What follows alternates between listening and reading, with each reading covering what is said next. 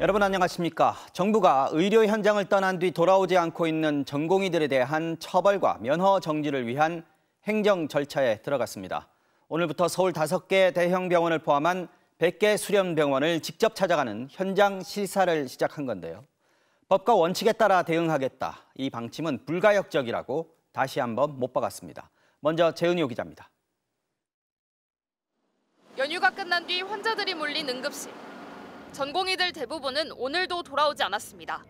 정부는 서울의 다섯 개 대형 병원을 포함한 50개 수련 병원을 먼저 찾아갔습니다. 전공의들이 복귀했는지 근무표와 근무 기록을 꼼꼼히 대조했습니다.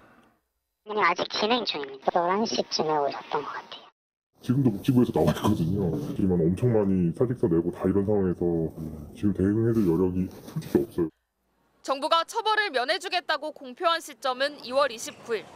이미 사흘이 지났습니다. 그날 기준 사직서를 내고 현장을 이탈한 전공의는 9천 명에 육박합니다.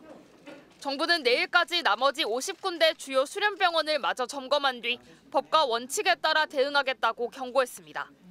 전공의들의 부재가 확인되면 바로 내일이라도 면허 정지 사전 통보를 예고할 수 있다고 강조했습니다.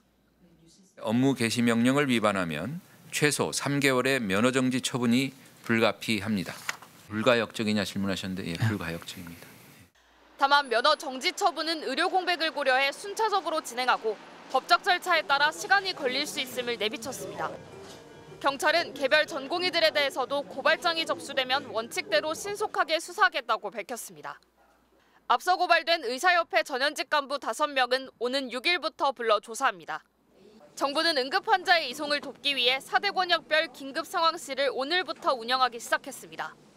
또 대통령직 속 의료개혁 특위를 발족하기 위한 TF를 이번 주 설치하기로 했습니다. MBC 뉴스 재은유입니다.